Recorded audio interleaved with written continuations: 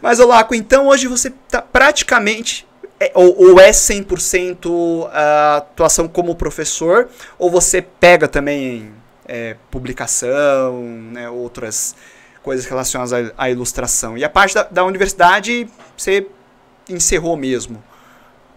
A parte Como é que tá hoje? Eu encerrei.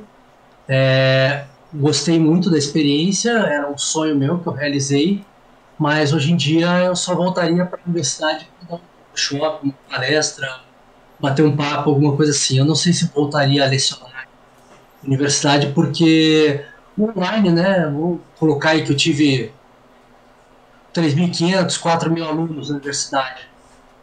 Um ano e meio que eu estou trabalhando online, já consegui mais de mil alunos.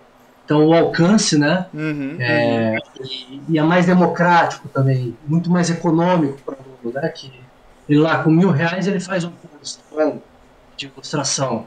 E ele.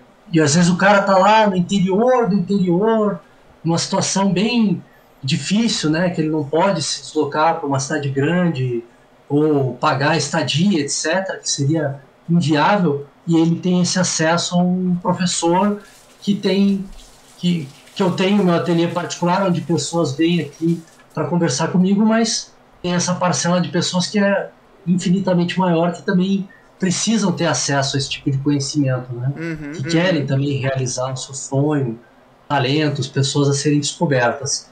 E com relação ao trabalho profissional, faz dois anos que eu não boto a mão em nenhum tipo de projeto, é, mas agora para 2022 a minha ideia é abrir minha editora, editora Ocelares. Ah, que e, legal! Isso, e trabalhar só com livro infantil. Então ano que vem é, você vai me ver lançando muitos livros né, de, de ilustração infantil e, e lançando a editora, que é um sonho que eu sempre tive. E vamos lá, vamos realizar agora. É que eu, eu não. Eu, eu já trabalhei com editoras, então eu tenho um pouco de.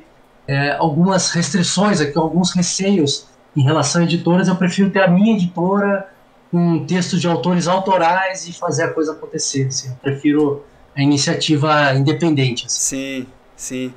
É, é, engraçado, né, lá, com essas coisas. Eu, assim, eu, eu, lido com editora isso há bastante tempo, com dos quadrinhos. E quando era lá o comecinho, né, 2004, 2005, eu fazia fanzine.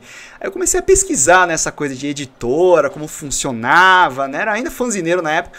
E eu via muita gente que falava que não, você não tem que abrir sua editora para se publicar. Isso é um erro. Você tem que procurar uma editora para fazer. Hoje em dia inverteu, né? pessoal até fala, ó, você tem que ter um posicionamento legal com o teu público, né? Não deixa tudo na mão dos outros. Se você empreender teu negócio é melhor. Parece que as coisas elas inverteram, né, hoje em dia. Então eu acho bem legal isso, viu? Vou, vou ficar de olho aí, vou querer mais informações depois aí sobre os projetos futuros. futuros. É, certeza. Acho que o e... primeiro, primeiro projetinho que vai sair aí que os alunos é, pediram vai ser a réplica do meu primeiro sketchbook. Hum. Então eu vou fazer o meu, uma tiragem só de 150 unidades, uhum, uhum. um sketchbook de um livro costurado à mão, impresso em papel poli, assim, a reprodução mesmo, assim. Sim, sim. Meu primeiro caderno. Então essa vai ser minha primeira publicação.